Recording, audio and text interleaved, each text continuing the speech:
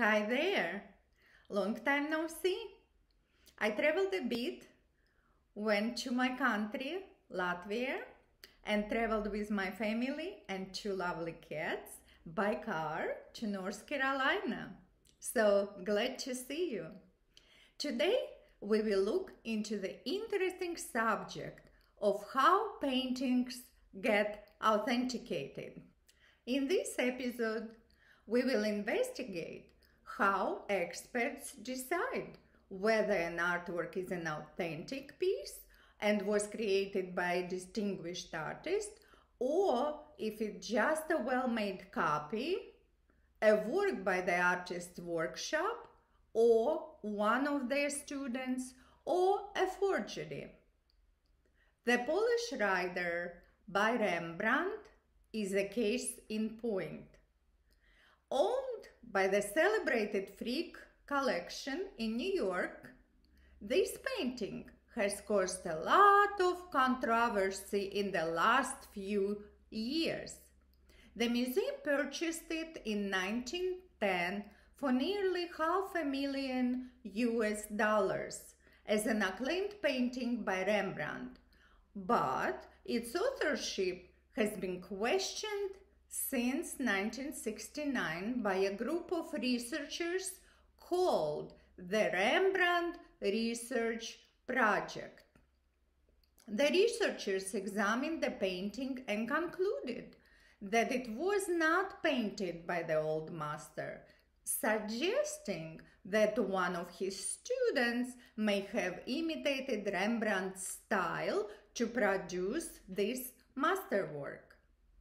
Researchers, art lovers, old master experts, and Rembrandt specialists have argued about the authenticity of the painting ever since, and there still is not certainty in the case.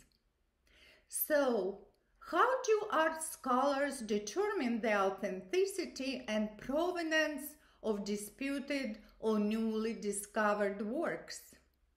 When an artwork's authorship is being disputed, authenticators are called in to verify it.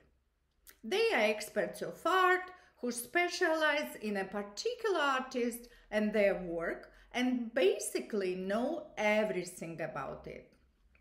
These experts develop what what's called a forensic eye and review all details of the artwork in person from examining the surface of the work for cracks to listening to its surface with a stethoscope.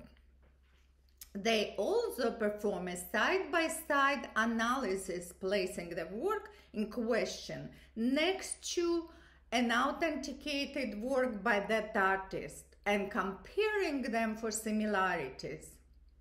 Moreover, they tend to collaborate with researchers in the field to try and trace the work of art all the way back to the artist who created it.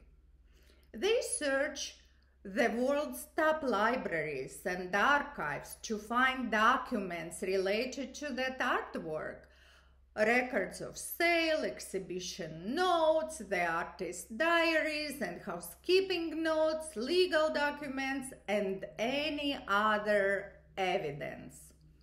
However, as prices for art keep going up, the popularity of this profession is rapidly declining. This is because the high prices of the artwork they are asked to evaluate are linked to high risk if you get it wrong.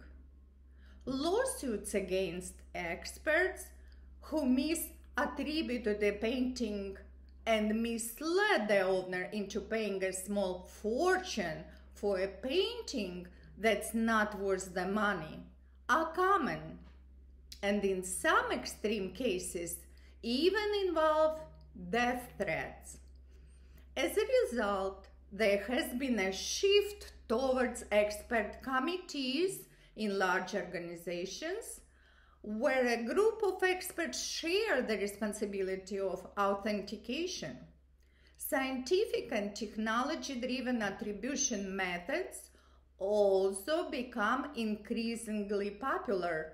X-rays and ultraviolet and infrared imaging, for example, are used to add to the biography of the work by showing under drawings, grid work, types of paper used, and changes to composition.